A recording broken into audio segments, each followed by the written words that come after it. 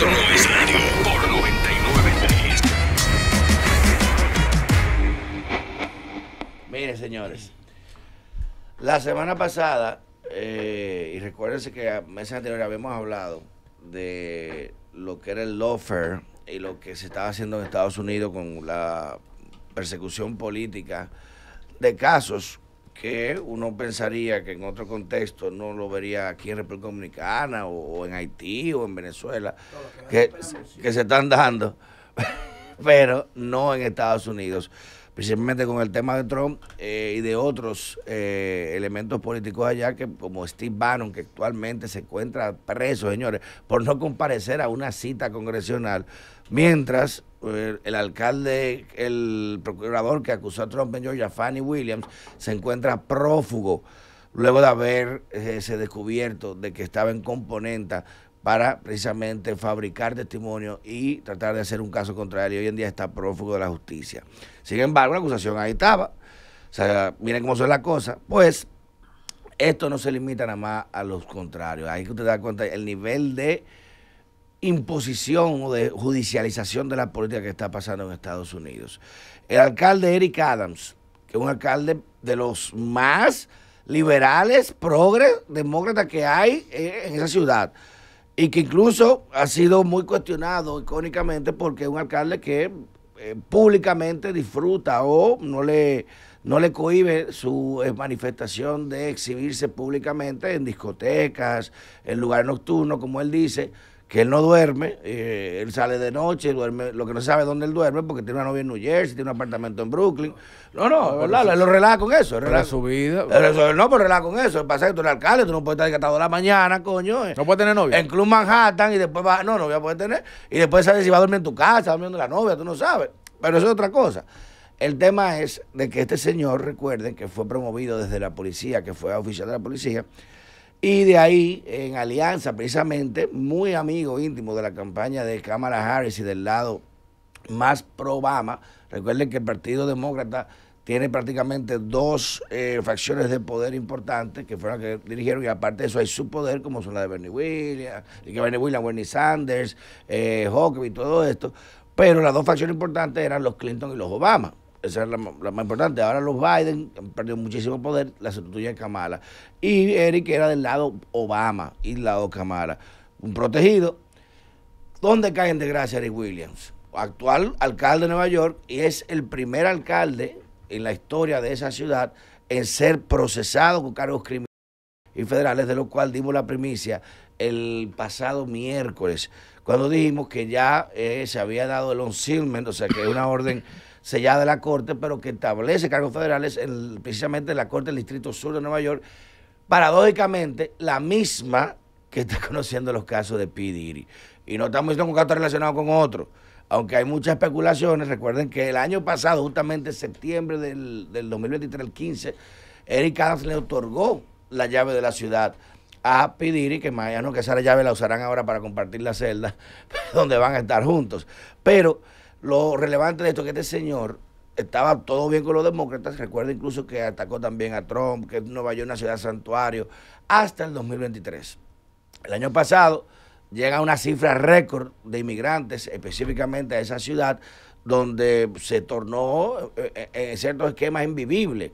Señores, recuerden que llegaron a, a pagar, la ciudad llegó a pagar hoteles cinco estrellas para albergar inmigrantes. Y gente que eran veteranos de guerra no podían ni siquiera ir a un hospital eh, porque no tenían cobertura, porque el dinero que se estaba usando en la ciudad está dando para mantener a ilegales, tanto con, con sueldos para darle comidas, como eh, el, el- abarrotamiento de los albergues, que se tuvo que buscar hoteles para poder meter gente ahí. Al punto que se llegó hasta hacer una mafia con eso y mire lo que quedó en la ciudad de Nueva York y la gente se empezó a quejar. Cuando ya él ve el descontento que hay generalizado, entonces da la alerta y dice, señor, Nueva York se va a joder, no aguantamos más ile- ilegales. Incluso los mismos republicanos empezaron a decir, oh, no me diga, puto una ciudad de santuario, ¿cómo? No, no podemos aguantar más ilegales, hay que cerrar la frontera, señores, ya. Ese discurso que lo ha, y hay que decirlo, por esas palabras, Trump lo ha utilizado en sus propios discursos. Entonces, mira, que hasta el mismo ciudad de santuario, como alcalde, como Eric Adams, están criticando que no aguantan ya más, porque el dinero de la ciudad, en vez de percatarse en mejores escuelas, en mejor infraestructura, en mejores carreteras, que por cierto, no es por nada malo, pero Tú vas a Nueva York ahora mismo, tú te vas a Filadelfia, tú te vas a Portland, y tú te vas a San Francisco, y esas son ciudades que parecen fantasmas. Es una locura lo que está ahí. Lo que tú no veías antes, tú estás viendo ahora el metro de baratao, eh, hoyos en las calles, eh, basura acumulada. Una locura. Este señor acaba de ser acusado, reitero, ya se, de Elon Silman, ya se abrió la acusación, que es lo que se refiere a Estados Unidos para mantenerse secreto, por una investigación de más de un año del FBI. Y qué raro que se la cobren ahora.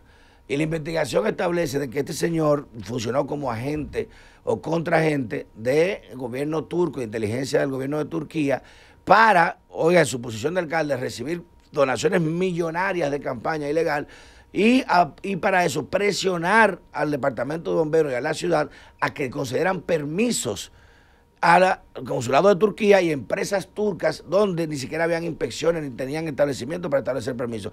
eso es aquí, eh, lo, que pasa, ya eso, aquí es pan de coco diario, ¿eh? Pan de coco diario. Que, y eso es malo. Lo que... ¿Se sabía? cualquier funcionario de aquí preguntaría, eso es malo lo que le dice. Eso, eso, y eso no es burocracia, pero eso es pan de trabajo. Eso normal. Exactamente. Él lograba permisos, lo que pasa es que como alcalde, y eso sabía hace tiempo, pero ¿por qué lo sacan ahora?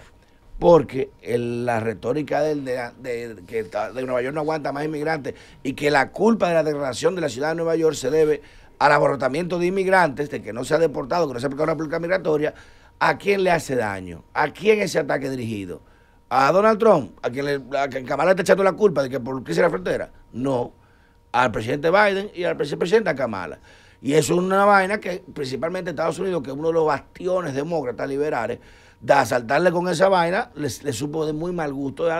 ¿Cómo, ¿Cómo, te sacaron tu muñequito? Ariel la semana pasada dijo aquí con el tema de Bob Daddy, de que muchos artistas veremos ahora están teniendo, que demostrar apoyo. ¿Para qué? Porque si tú no demuestras apoyo y no haces esto, te hacen así, mira, tú tienes esto pendiente. Te lo sacamos.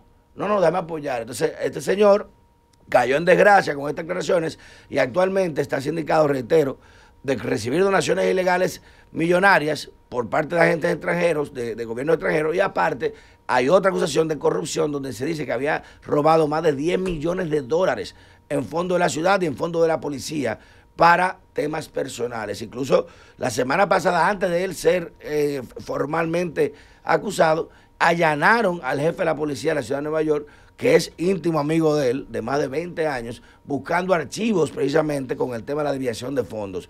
Todo parece indicar de que efectivamente eh, a este señor se le va a condenar, se le va a buscar eh, un, se le va a hacer un caso bien, bien, bien fuerte.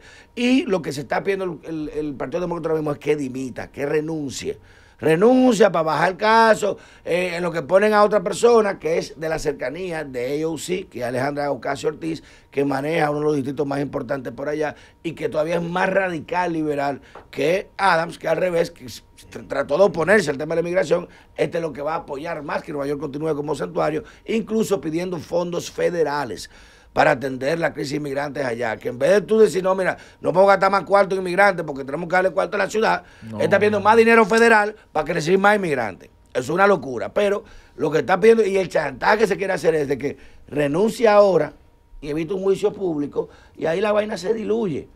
lo mismo que se hace aquí, lo mismo. Vamos a coger, suerte, cógete de bol, coge tres meses preventiva y después te sacamos. en lo que baja la marea. Y él dice, no, yo no voy a renunciar y no voy a renunciar porque si a esto vamos, vámonos público con todo.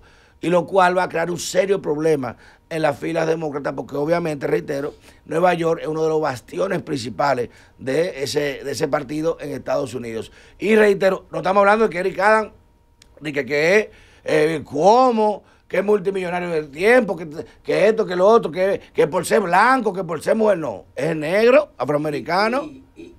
Viene de abajo. ¿Y en qué tiempo? Eh, eh, ¿En qué tiempo? Estamos en noviembre casi. A, dos meses de. Estoy buscando una foto con el que me tiene, no la encuentro para borrarla. estoy buscando, pero no, hay forma de encontrarla. estamos, hermano, parecemos, porque estamos agarrados. Y, y, que él decía, él decía muy, una gracia muy característica, cuando desayunaba en el Four Seasons decía de que a mis enemigos y a mis principales odiadores los veré sirviéndome la mesa como camareros. Eso sintió mucha, mucha... No eh, porque en la cárcel, tú, pues, vos- si No, estamos no, presos los dos, no, no. camarero tuyo. si estamos presos los dos, yo te la puedo llevar un día, hago la fila por ti, Está, pato. está fuerte. Mañana te toca a ti. Tú sabes, decir eso es un tema de rocha. Sí, así que como que es una, arrogancia, tú sabes. Pero ahí se le están sumando muchas conjeturas del tema de la relación con Daddy, el tema de sus fiestas, que como reitero, vivía haciendo fiestas en la noche, saliendo a la discoteca más lujosa de Estados Unidos. Enfrentó crisis muy importantes como el tema de las ratas. Recuérdense que él hizo un, un César, un César contra las ratas. eh, allá con el tema del metro, el tema de los hospitales, donde llegó un momento que reitero, se le tuvo que prácticamente obligar a decirle que no aguantaba en Nueva York más, y esto ahora usado en campaña le están dando. Pero hay que, hay que decir que ya en Nueva York no hay rata. Bueno. Esos son otros animales. Esos son una vaina como de ese Esos son tamaño. marsupiales, Ya esos eso- roedores. esos son osos. Tú- los Son perros ven una osos. rata de y se mandan. Los, perros ven esa rata y se mandan. Lo que Son otras vainas, del diablo. eso no son- Recuerda también que Eric Adam dijo hace algún tiempo que Nueva York huele a mar. Eso nadie lo aguanta. A pipí, mar- Yo, mira, yo creo que los demócratas están sacrificando a Eric Adams para mantener su discurso pro migrante. Sí, eso es. Lo están castigando por lo que tú has señalado de pronunciarse en contra de la migración haitiana sobre todo. Sí, porque ahora no se Y como los demócratas saben que Nueva York está seguro, la última vez Se que, lo- la última vez que el republicano ganó Nueva York, ¿cuándo fue? Como en, a principios de los 90, qué sé yo. los- 80, los Reagan- 80. Reagan, Reagan, los sí. 82. Reagan en el Sí. 82, 84. El último, sí. La última vez que los republicanos ganaron Nueva York. Entonces, demócratas están sacrificando a Eric Adams, saben que Nueva York lo tienen seguro y envían un mensaje de espaldarazo El a la no se migración. alinee, el que no Sí, se el que no se alinee, sí, está, pero- está perdido. Pero ¿y Mira, Tú voy- ves Kamala Harris. Dije, ayer en la frontera yo dije, en cuatro años, ahora que Ah, fue. Y ahora porque te dijo por dónde que está Y, y- y el hombre le sacó el corte cuando Sí, dice pero- que usted no ha ido a la frontera. Yo he ido a la frontera, usted no ha ido. Bueno, yo no he ido a Europa, pero sé que Europa existe. O sea, oye la verdad es que yo, yo he ido a la frontera, yo sé dónde está la frontera, pero usted no ha ido. Bueno, yo no he ido a Europa, pero sé dónde, dónde- dónde Europa Bueno, existe. bueno. Eso es, para un mandatario decir eso, es una retórica terrible. Está jodido. degradante. Lo, lo que sí hay que decir, miren, yo la, ol- de la, la última vez que fui a Nueva York caminé mucho, todos los días salí a caminar. Y lo que más me impresionó es que antes en Nueva York era normal tu ver un homeless, ¿verdad? Sí, Donde- eso. En cualquier esquina Pero tú ves- drogaditos, Pero no, no, pero locos. la diferencia en Nueva York ahora es que tú ves homeless que no tienen ciudadanía americana. Sí. Antes todos los homeless que tú veías todas- Eran gringos, eh. eran gringos. Ahora tú ves familias completas. Tú, Enteras. tú ves muchos venezolanos. Tienes razón, Sí, Andrea. Una mujer con cinco hijos en la acera de la calle. Con- sí. Entonces, eso tiene que, Y no, no que solamente llamarles eso. mucho la atención. la última que fuimos, yo estaba con mi hijo que lo llevé a, a- a Pedro Manuel Jovencito y estoy pasando con él por el metro. Y le, y le enseño, le digo su tarjetita, mira papi, tiene que pagar, mira, aunque él es más bajito que la vaina del, del tubo, le, pero estoy enseñándole, mira, tiene que pagar tu pase para que cruce. Y él paga su pasecito, él cruza y yo voy a pagar el mío. Y viene un reguero de tigres. Y se tiran. Y se tiran por arriba, pra, pra, pra, y el niño mío me dice, pero papi, no tienes que pagar, vuélate. Y yo, no, papi, mira, tú estás loco, eso, es- eso es ilegal, esos muchachos van, van presos ahorita. Pero no seas pendejo, aquí no hay nadie. Y cuando tengo policía ahí, yo, por hecho, dice, mire, aseguraron una gente, dice, yeah, there's nothing we can do about it. No hay nada que podemos hacer sobre eso. Y yo, por no decir al niño lo que era, yo dije, no, no, la policía lo va a buscar y vaina, pero no se puede hacer nada. Desorden. Y aparte de eso salimos, recuerda que cuando fuimos a la noche a cenar, estoy yo con el niño y hay una pareja, o hay un moreno y una mujer blanca, desnudos, afuera de un restaurante donde estábamos, desnudos, con una jeringuilla, los dos peleando. Un desorden. Una y yo con el niño y al lado, pero espérate, yo tuve que cruzar la calle para devolverme. Aviso de nuevo a otro policía, mira, ahí se está- están matando gente, eso en Times Square, eso no dije que metido por un barrio en el Bronx, en Times Square. Y lo que me dice el policía, no, ya reportamos, hay que esperar que llegue unos paramédicos porque eso es sanitario, eso no es eh, de violencia. Oye, lo tiene con dos jeringuillas peleando, y que, es que son drogaditos, hay que esperar que lleguen paramédicos. No, poli- los policías no pueden intervenir. Porque con jeringuillas. Y, y yo con el niño mirando, yo, pero ¿y qué maldita ciudad? Antes Si que, pasaba un jeringuillicidio ahí.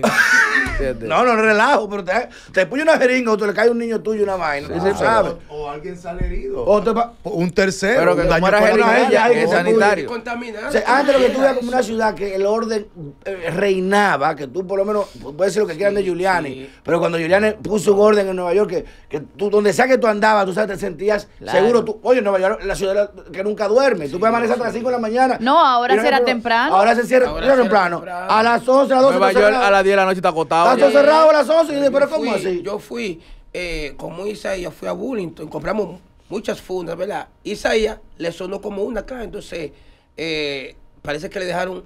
Y Mon, Isaías está durando mucho, y Mon entra. Yo toda la funda la dejé ahí en el suelo y yo estoy parado. Ay, me vi un dominicano todo y yo que recoge todo eso, que los jóvenes vienen ahora mismo y co- y comienza a, a recoger toda esa funda. Oye. yo como así, re, re- recógela, métela para allá. Se lo que- llevan los tigres. Y la policía, los policías no van a hacer nada. Así mismo. Recoge toda esa. y Yo, no, pero esto es increíble. Entonces los policías allá lo que están haciendo es cubriendo su pensión, no se meten en problemas, ellos están eh, patrolling y si ven crímenes así, no se meten porque no quieren ni un lío con una demanda, no quieren cursar su tiempo, cursar su time, mi pensión y me voy. Y los policías, no es culpa de los policías, porque si el Estado, si el gobierno de la ciudad los criminaliza, eh, por ellos hacer su labor, ¿qué van a hacer? Yo no, yo no voy a actuar porque... Se quedan de brazos Oh, cruzados. te atracan ahí mismo. Mientras no un asesino que mata gente, usted puede allá. Allá hay lugares que antes eran emblemáticos, como Blicker Street, donde tú salías ahí a, a los restaurantes que están en la calle fuera.